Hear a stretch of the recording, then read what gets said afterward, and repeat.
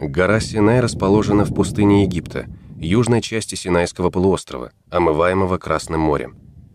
Это одна из наиболее высоких гор полуострова. Она возвышается на 2285 метров над уровнем моря. Гора Синай – это особое место. Именно там, по преданию, Бог явился пророку Моисею внутри объятого пламенем и несгораемого куста неопалимой купины.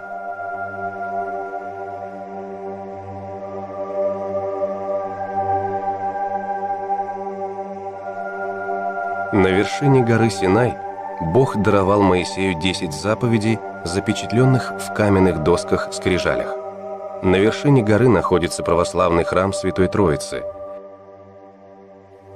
На гору каждую ночь поднимаются от нескольких десятков до нескольких сотен паломников, чтобы вместе встретить утренний свет. Мир, который существует между монахами и местными жителями-бедуинами сделал Синай символом мира между людьми разных вероисповеданий и культур.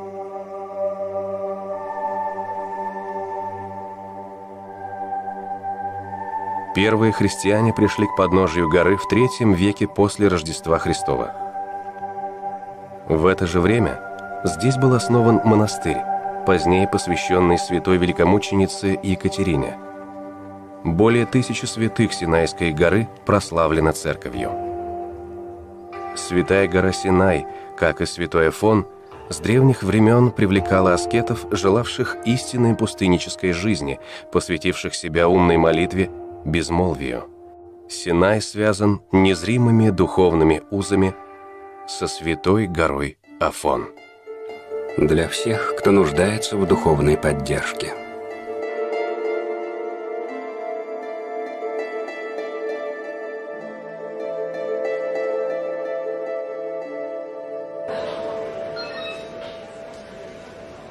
Эта серия фильмов – результат послушания игумена Киприана афонскому старцу Евфимию, предложившему экранизировать житие старца Паисия Святогорца, написанное иеромонахом Исааком в 2004 году. Автор жития почил 16 июля 1998 года. Это его могила у Каливы Ефимия на Афоне – также в этот фильм включены свидетельства многих людей, лично встречавшихся со старцем или живших рядом с ним. Вы услышите фрагменты текстов самого Паисия Святогорца и увидите места, где он жил.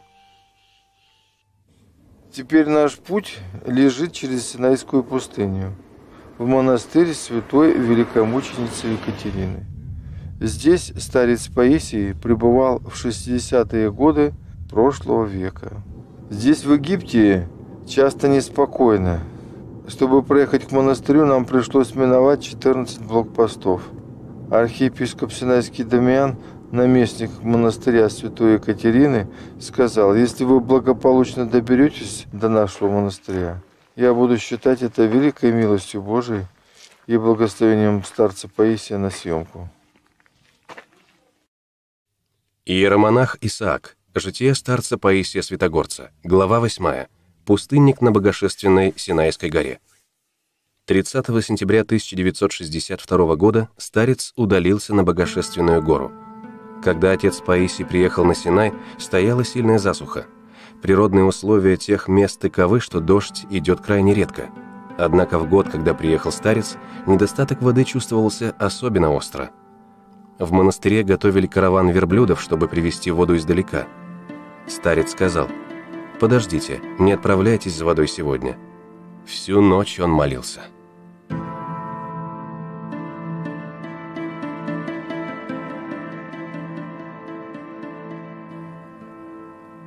Когда, молясь о дожде, я вижу, что в небе появилась хоть одна тучка, то я славлю Бога за то, что Он ее прислал. Пусть дождь даже не пойдет а моя совесть укоряет меня в том, что во мне самом есть много духовных туч, которые отгоняют Божьи облака. Если мы будем смиренно просить милости Божией, то Бог нам поможет. Во время засухи молитва смиренного человека собирает дождевые тучи. Будем же всегда молиться о том, чтобы посланный Богом дождь обладал духовным действием, чтобы он тушил тот духовный пожар, который по дьявольской злобе бушует в мире и опаляет души людей.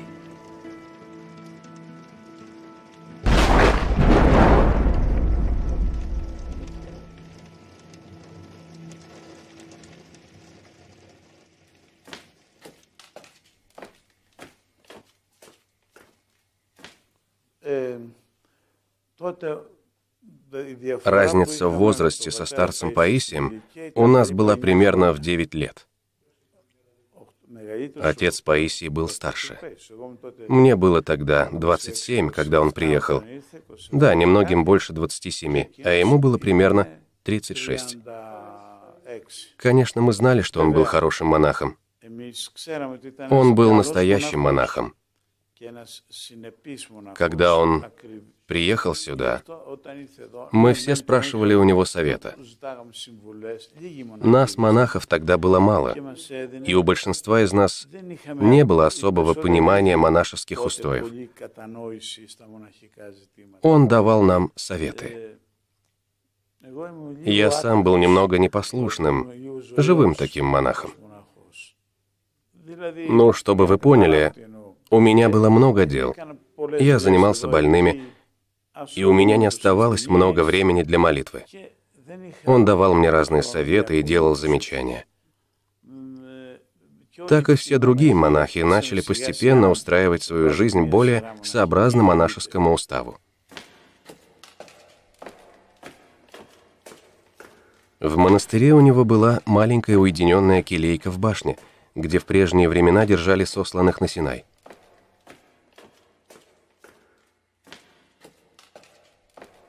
Вскоре мы узнали, что, войдя в свою келью, отец Паисий первым делом снял с кровати матрас и выкрутил электрическую лампочку, которая освещала комнату.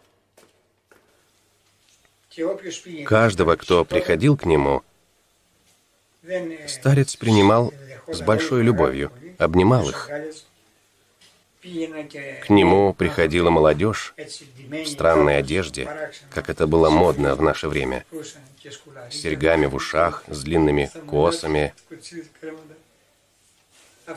Старец обнимал их, целовал и с первой минуты завоевывал их расположение.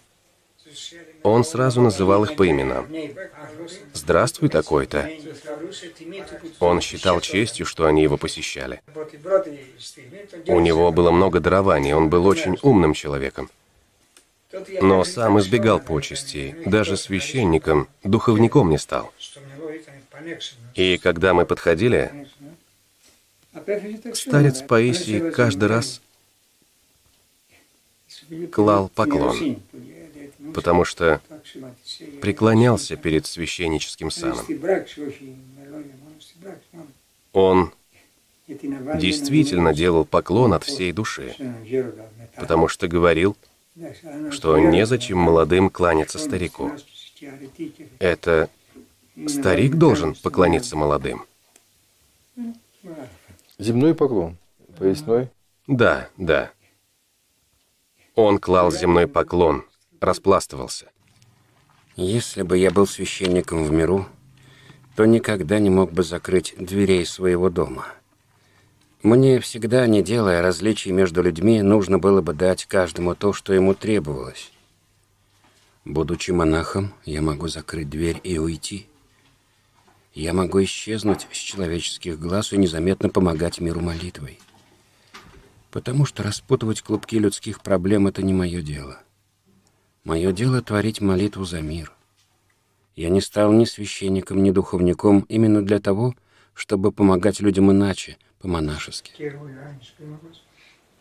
Святой Иоанн Лествичник писал много об осуждении. Он, например, писал, что монах должен быть осторожным и не осуждать, потому что можешь не осуждать языком, но в мыслях осудить всех. Вот, например, проходит монах мимо кельи другого брата и видит ее неприбранной, неряшливой. В мужских монастырях такое бывает, не знаю, как в женских. И думает, видишь, брат занимается молитвой, духовным деланием, и у него нет времени прибраться в келье, и не осуждает. может пройти мимо кельи другого монаха и увидеть, что она чистая, прибранная, что редко бывает в мужских монастырях, и скажет, вот этот человек содержит в порядке своего внутреннего человека и в таком же порядке содержит свою келью. Таким образом, он ни того не осуждает, ни другого. Такой монах достигает великой любви. Паисий назывался босиком Божьим и ходил босиком, и обувь одевал только тогда, когда встречал людей. Да, это правда. Он видел, как бедуины ходят без обуви, и ходил так же. Но потом он заболел, и зимой не мог ходить босиком по голым камням и земле. Нам, монахам, следует жить хотя бы чуть-чуть попроще, чем живут в миру. Монастырь должен быть беднее, чем тот мирской дом, из которого я в него пришел. Это внутренне помогает как монаху, так и миру. Бог устроил все так, чтобы люди не находили себе успокоения в вещах тленных. Если этот мирской прогресс мучает даже мирян, то что уж говорить о монахах. Если бы я оказался в каком-нибудь богатом доме, и хозяин спросил меня, где тебе отвести место для ночлега, что тебе больше по душе, даю вам честное слово. В козлином хлеву моей душе было бы спокойнее. Ведь, уходя в монахи, я покидал мир не для того, чтобы найти себе какой-то лучший дом или дворец. Помню, на кухне общежительного монастыря был огромный котел, который поднимали с помощью особого рычага. Огонь для приготовления пищи разводили на дровах, а в Архандарик мы поднимали воду с помощью веревки и ворота. Некоторому из того, что происходит сейчас в монастырях, оправдания нет. Я видел, как в одном монастыре хлеб режут с помощью хлеборезки. Ну, куда это годится? Монах избегает удобств, потому что в духовном отношении они ему не помогают. Даже в мирской жизни людям тяжело от множества удобств. Если мы не можем подражать святым отцам Египта с великой строгостью их монашеской жизни, тогда будем подражать, по крайней мере, верблюдам, которые, хотя и едят мало, поднимают большие тяжести. От многочисленных коленопреклонений в них образуются мозоли – и, будучи тяжело нагруженными, они смиренно следуют за маленьким осликом. У них есть еще и такой обычай. Они никогда не забывают своих благодетелей и испытывают к ним благодарность. Старец Паисий очень любил людей, бедуинов, очень. И даже сказал тогда архиепископу Синайскому, чтобы тот берег бедуинов. Они жили рядом с монастырем, и он с ними рядом жил. Он посещал этих бедуинов, знакомился с ними очень близко, чтобы узнать, кто терпит нужду, а потом еду сам покупал, приносил им под дверь и уходил. Почти все, что получал, тратил на них. Надо сказать, что сейчас-то у нас ситуация получше – а тогда у монастыря не было денег даже на нужды монахов, на еду. Хотя я и сам живу такой же жизнью. Приходят бедуины и говорят, у меня нет лекарств. Врач выписал рецепт, а у меня нет денег его купить.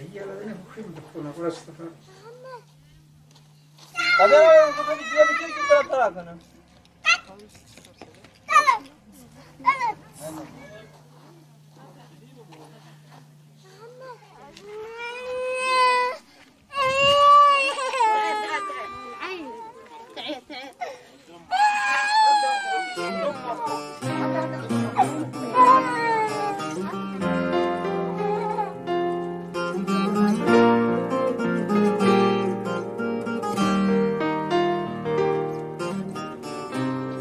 как на Синае дети бедуинов, которые не знали, что такое Евангелие, когда я им давал что-нибудь, то они делили это между собой, даже если я им давал совсем чуть-чуть.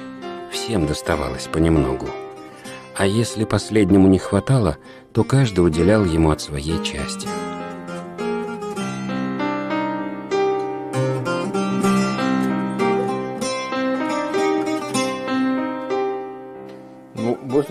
Утверждать, что вот э, про- пример Паисия в отношении бедуинов э, повлиял на вас тоже, отец Павел? Я с радостью соглашусь. Я сразу их полюбил. И люблю, когда они приходят. Помогаю, как могу. Баранту.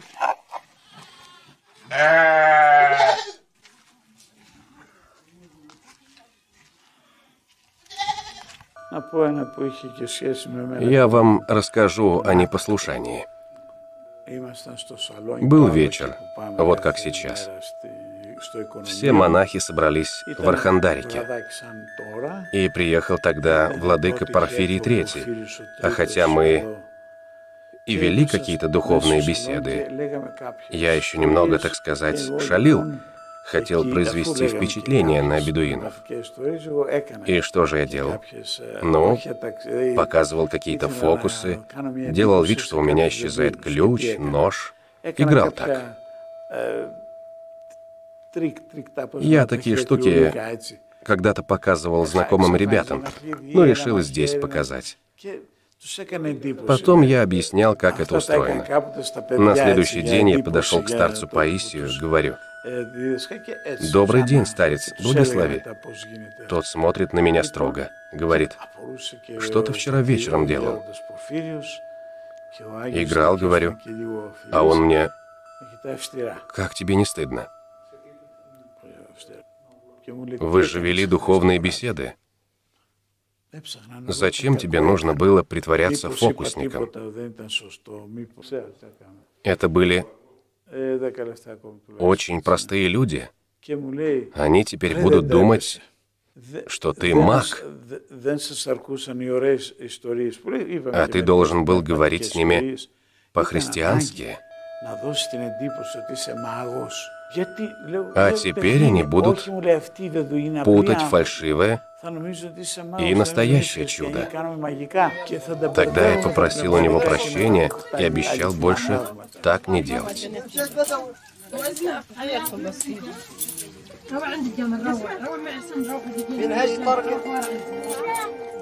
Я не святой и не колдун. Я грешный человек, который пытается бороться. Во Вселенной я вижу себя крохотной пылинкой. Так пусть эта пылинка, по крайней мере, будет чистой.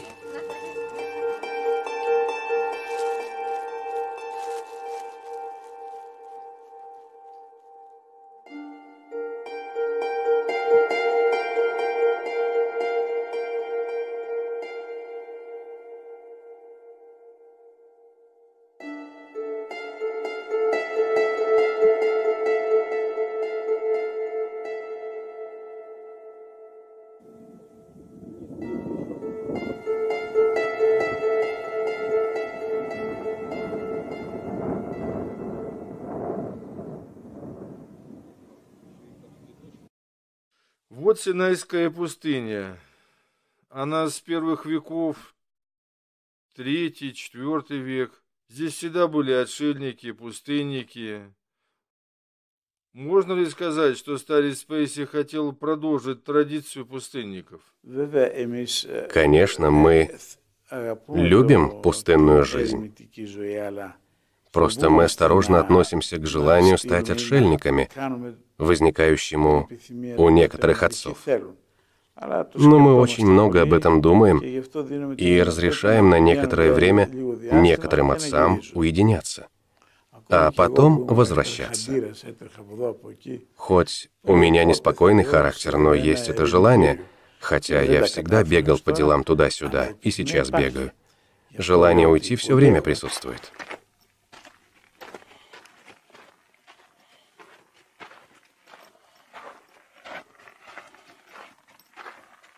Старец любил посещать места, где жили подвижники. Он восхищался маленькими аскетическими пещерами. Где-то он находил сохранившийся колодец. В другом месте скала была почерневшей от огня, на котором изредка готовили себе пищу те, кто подвязались там раньше. Эти древние места аскетических подвигов вдохновляли и умиляли старца.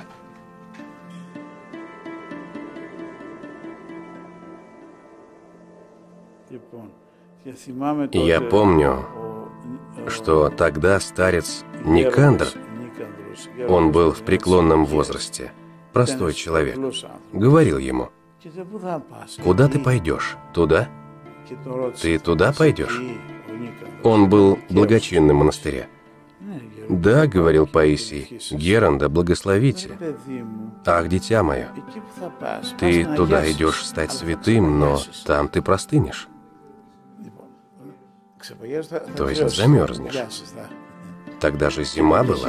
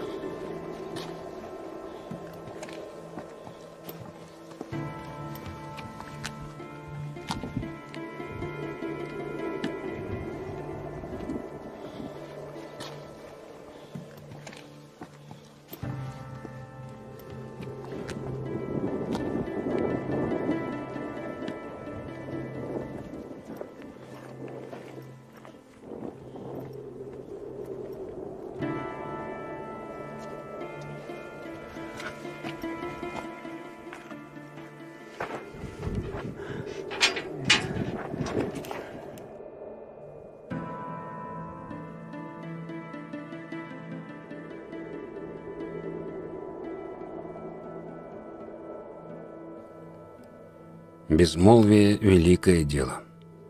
Находясь в безмолвии, человек тем самым уже молится, даже и не молясь. Безмолвие есть таинственная молитва, и она очень помогает молитве, подобно тому, как кожное дыхание приносит человеку пользу. Итак, он попросил у монастыря дать ему келью святой Епистемии.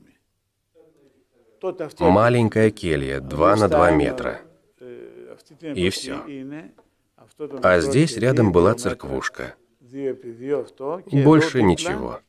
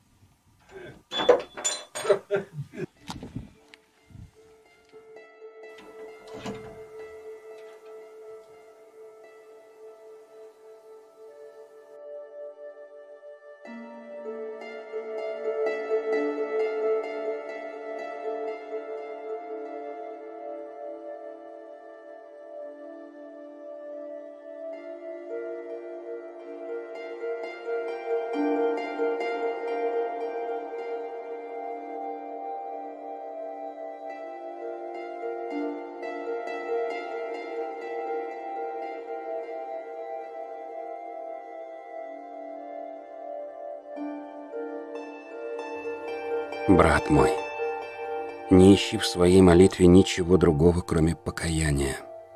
Ни света, ни чудес, ни пророчеств и вообще никаких дарований. Но только покаяние. Келья святой Епистимии, где мне предстояло поселиться, была уже давно заброшена, покинута людьми. Я ничего не просил у монастыря, не желая его обременять. Как-то мне принесли хлеб из монастыря, и я возвратил его обратно. Воды было совсем чуть-чуть. В одной пещере, примерно в 20 метрах от келии, из расселины в скале по капле сочилась вода. Я сделал маленький водосборник и набирал по три литра воды за сутки. Приходя за водой, я подставлял железную банку, и пока она наполнялась, читал Акафист Пресвятой Богородицы. В отдельную баночку набирал немного водички для мышек и птичек, живших при моей келии. Для стирки и прочих нужд я использовал ту же воду из пещеры.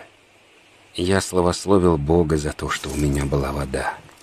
Чтобы нагреть воду, я собирал хворост и сухие веточки. Моей пищей был чай с сухарями, который я делал сам. Я раскатывал тонкий лист теста и высушивал его на солнце. Эти сухари были настолько жесткими, что разбивались, как стекло. Иногда я варил толченый рис в консервной банке. Эта банка была и кофейником, и кастрюлей, и тарелкой, и кружкой. Все мое хозяйство состояло из этой банки до одной ложечки, чуть поменьше столовой. Вечером я пил черный чай, чтобы не спать, и в чай клал чуть побольше сахара, какую-нибудь лишнюю ложечку. Этот сахар заменял мне вторую майку. У меня была еще смена теплой одежды, потому что ночью в тех местах бывает очень холодно. У меня не было ни лампы, ни фонаря, только одна зажигалка. С ее помощью я подсвечивал путь ночью, идя по каменной тропе со ступеньками. Зажигалка была нужна также для того, чтобы иногда разжигать огонь. Еще у меня было несколько запасных кремней и маленькая бутылочка с бензином для зажигалки. Больше ничего не было. Единственным инструментом, который я имел, были ножницы. Я разъединил их на две половинки, заточил камень, взял дощечку и стал вырезать иконки. Не только не терпел лишений, но и бедуинчикам помогал. Для них было великим благословением получить в подарок шапочку или пару сандалет. И у меня появился помысл. Я пришел сюда, чтобы помогать бедуинам, или же для того, чтобы молиться о всем мире. Поэтому я решил сократить рукоделие, чтобы меньше отвлекаться и больше молиться. Думаешь, я ждал, что кто-то будет мне помогать? Откуда? Бедуинам самим нечего есть. Монастырь далеко, а с другой стороны начинались необитаемые места. Но в тот самый день, когда я ограничил работу, ко мне пришел один человек. Я тогда был возле келии. Увидев меня, он сказал, «Вот, возьми сто золотых, будешь бедуинчикам помогать, и распорядку своему будешь следовать, и молиться». Если хочешь выйти на связь с Богом, чтобы Он услышал тебя во время молитвы, переключись на смирение, потому что Бог всегда работает на этой чистоте, и смиренно проси Его милости. Когда в тебе разгорится божественная любовь, ты схватишься за микрофон твоей рации, как влюбленный, и не захочешь удаляться из своей келии, даже если этого потребуют какие-то важные дела.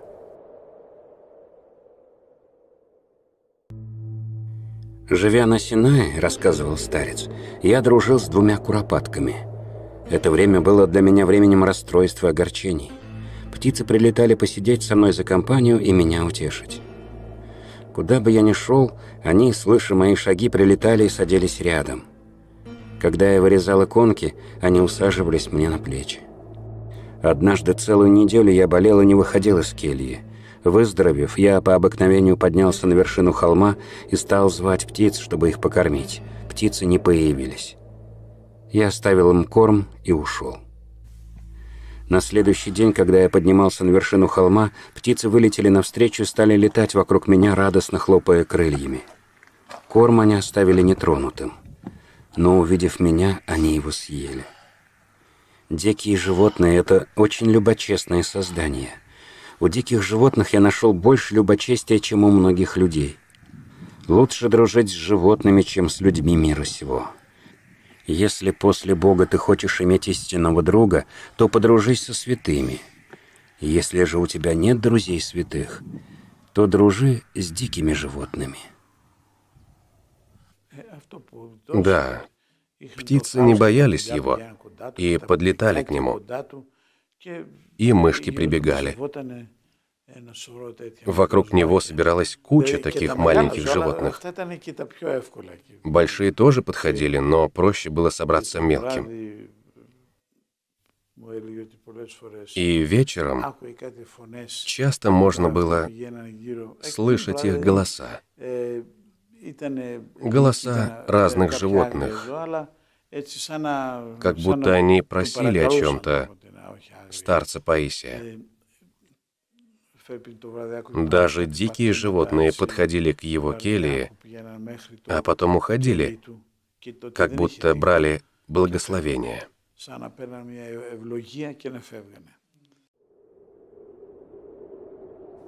Пока Адам любил Бога и хранил Его заповедь, пребывал в раю Божием, и вокруг него было множество зверей, которых он ласкал с любовью – а те в ответ с благоговением лизали его, как своего господина. Когда Адам приступил заповедь Божью, то был изгнан из рая. Сейчас соблюдение заповеди вновь приближает человека к Богу в первое свое состояние, какое имел до падения.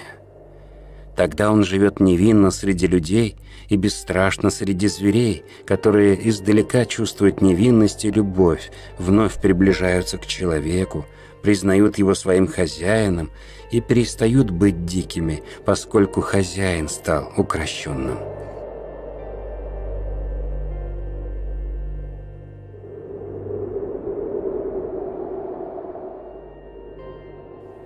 Итак, сколько можешь, полюби пустыню и невещественную жизнь. И все свои материальные вещи, какие только можно, отнеси в дома нищих. Насколько можешь, упрости свою жизнь, чтобы освободиться от мирского душевного беспокойства и чтобы твоя жизнь приобрела смысл. Днем я творил Иисусову молитву и занимался рукоделием. Молитва и рукоделие – это был мой устав. Ночью несколько часов я делал поклоны, не считая. Службу не вычитывал, заменяя ее молитвами по четкам. Чтобы меня не донимали любопытные, зеленой краской я нарисовал на скалах черепа с костями. Знак опасности.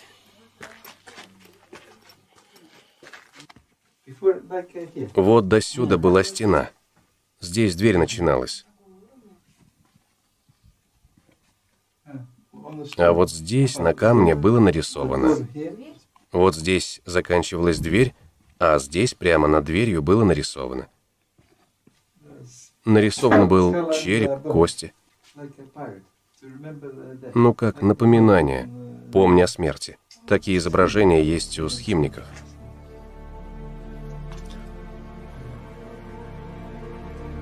Примерно так, да? Что пользы человеку, если на земле он просияет на белоснежном мраморе? Он покроет его. Ничто человек, ничто его сила, ничто его фантазия, ничто его существование, ничто красота, могущество, ничто прелесть, все сон и тень, все суета. Архимандрит Адриан, 1971 год. Монахи, живущие в монастыре, благодаря братской взаимопомощи, находятся в большей безопасности, чем исихасты, которые живут в уединении. А исихасту нужно иметь большое самоотречение, чтобы вырыть себе сначала могилу, а затем с великим смирением и рассуждением начать свой духовный подвиг, непрестанно трезвясь и молясь. Вот монахи, видите, всего здесь шесть человек, может быть, похоронено здесь. Погребается умерший монах, потом через три года, два-три года откапывается и череп вот кладется в костницу.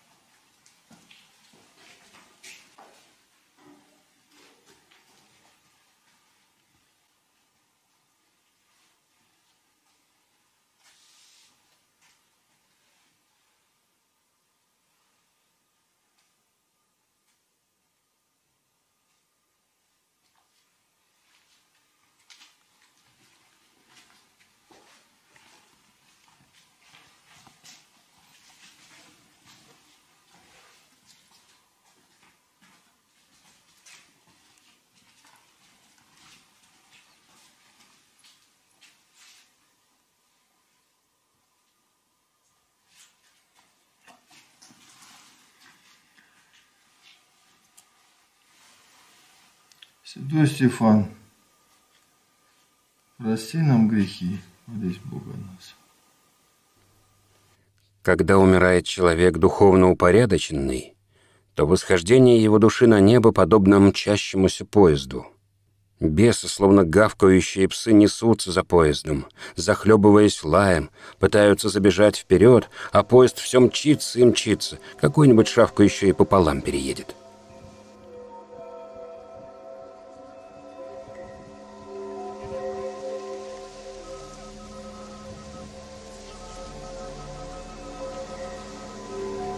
Дьявол не прекращает искушать человека.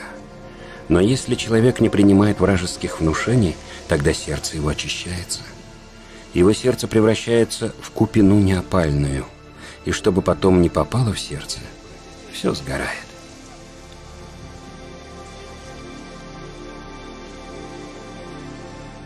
Ну, можно сказать, что он был и отшельником, и монахом общежительного монастыря тоже, потому что приходил в монастырь. В монастырь отец Паисий спускался каждое воскресенье, либо раз в 15 дней. Он помогал читать и петь на службе, причащался.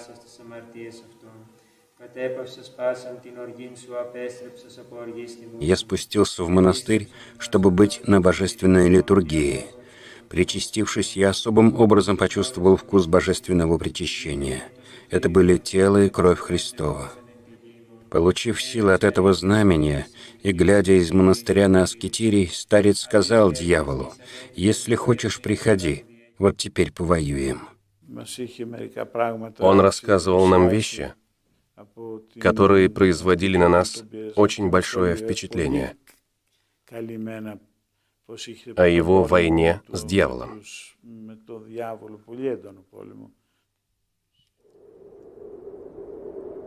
Старец решил подняться в Аскетирии и прожить там две недели, не спускаясь в монастырь.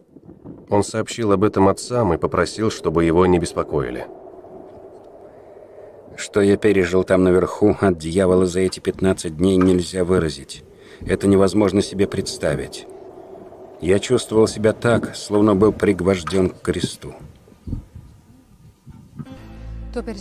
Этот случай произошел на Синае и записано точно со слов отца Паисия. Появился дьявол и говорит мне, «Ты упадешь вниз, и ничего с тобой не случится». Я молчу, там черная тень продолжала. «Прыгни вниз». «Прыгни вниз», — говорила мне. Я сделал вид, что ничего не слышу. В конце концов крикнул «Смотри!» Я кину в тебя камень. И кинул камень вниз. А ты самого Христа превзошел, мне говорит. Вот видишь, даже лучше, чем Христос рассудил. Христос был Богом, а не как я, шутом бестолковым, что зазевался сейчас на тебя. И тут же он исчез. Вот ведь какой он, дьявол. Ведь продолжает, не унимается. Почему в пустыне особо ожесточенная война с дьяволом? Вообще, здесь важны две мысли. Дьявол был проклят в пустыне, и он должен бежать в пустыню, где есть отшельники, пустынники, чтобы искушать их, потому что он знает, что они молятся за других, и по причине своего духовного состояния могут делать важные вещи, чудеса, спасать человеческие души, спасать и общество. Старец рассказывал, «Я видел дьявола, который делился со мной разными откровениями, он называл поименно разных людей и говорил «И этот мой, и этот мой». Многое из того, что он сказал, было ложью. Однако случается, что он говорит о правду. Были у меня заводные часы. Потом они сломались, и требовалось их все время покачивать. Упрекнул меня дьявол. «Что ты здесь делаешь, заблудший?» Вот так отчетливо. Если бы жил ты в миру, то были бы у тебя сейчас дети, и ты бы их качал, заботился о них. Я взял часы. Был как раз напротив обрыв. Кидаю их туда. Когда я был еще в школе, камни я бросал лучше всех других детей. Взял я часы и кидаю их. Видели бы вы, что произошло. Берет их дьявол и несет, чтобы не разбились, как раз до самого обрыва. А затем они просто соскальзывают до самого низа. Спускаюсь вниз, слушаю. Шевелитесь? Затем беру кусок гранита и бросаю на них. Вот ведь что делает дьявол. До самого обрыва долетели, сползли вниз, и ничего с ними не случилось. Мы спросили отца Паисия. «Дедушка, а вы его видели?» «Да». «Знаешь, какой он красивый? Невиданно. Такое увидеть. Насколько велика любовь Господа, не позволяющая увидеть дьявола. Умерло бы все человечество со страха. Только задуматься, если бы видели дьявола, как мыслит, что делает его прелестный вид? Основываясь на своем опыте, старец говорил, «Дьявол действительно преображается в человека, в животное и тому подобное. Он действительно осязаем. Это некая иная сущность, которую мы не знаем. Ты видишь его, осязаешь его, связываешь его молитвой, и он тут же исчезает прямо на твоих глазах. Материализацией это назвать нельзя. Это некое промежуточное состояние.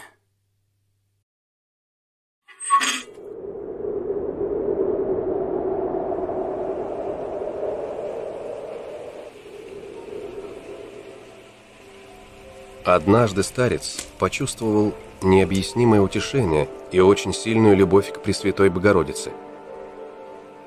Он удивился, не зная, что это значит, и почему его посетило такое утешение, и записал дату этого события. Позже он узнал, что в тот самый день скончалась его мать, которую он любил чрезвычайно, но оставил ради любви ко Христу и к Пресвятой Богородице. Этим утешением Матерь Божья словно говорила старцу – не расстраивайся, твоя мать – это я. Это было 6 октября 1963 года. Иди веселны и очистены от всякие скверны, и спаси блаже души Господи, благослови.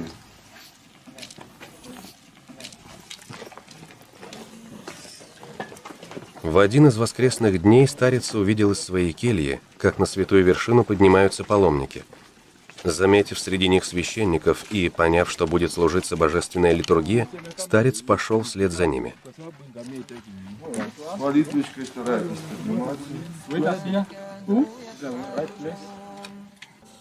Невидимая брань и невыразимое состояние – в письме с Синая от 1 марта 1964 года старец Паисий пишет «Бес часто тревожит меня, несмотря на то, что я довел свою плоть до изнеможения. Эта брань продолжалась почти неделю, как раз в то время, когда я готовился причаститься на божественной литургии, которая должна была совершаться на святой вершине. Благодарю Матерь Божью за то, что она не гнушается мною, но всегда мне помогает. Ну что, вы готовы?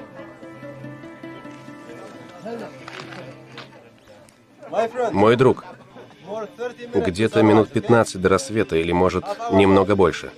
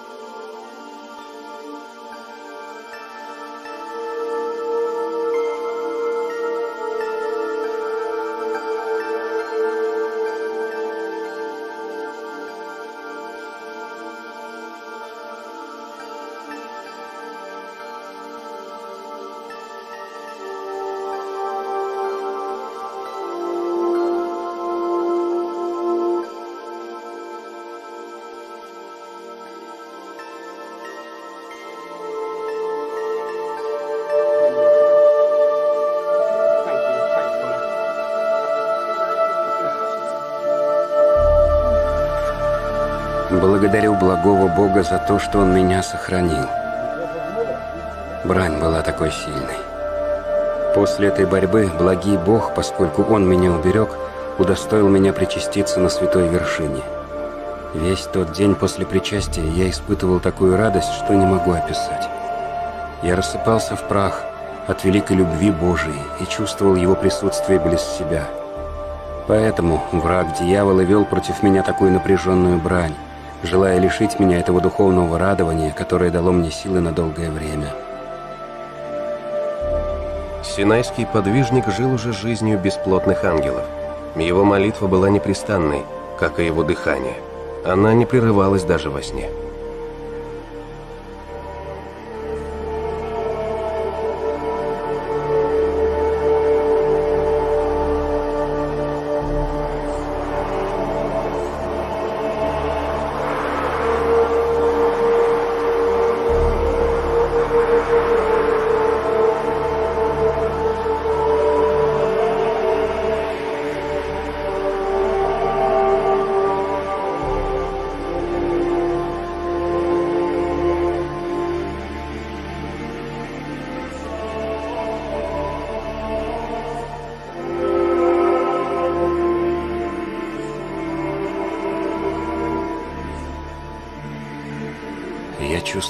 Мне, подобно нежной заре, забрезжило что-то качественно иное, писал он тогда. Однако со временем состояние его здоровья все ухудшалось. В письме от 1 марта 1964 года старец написал «Однако вижу, что Бог спускает меня все ниже и ниже. Сейчас уже целую неделю я нахожусь в монастыре, потому что у меня открылась астма. Исихастерий святых Галактиона и Епистимии расположен на высоте 2000 метров, и поэтому там я страшно мучился. Несмотря на то, что я принуждал себя оставаться там, наверху, это оказалось невозможным. У меня останавливалось дыхание. В конце концов, видя, что состояние его здоровья ухудшается, старец принял решение покинуть сладкую Синайскую пустыню. Это решение далось ему с печалью.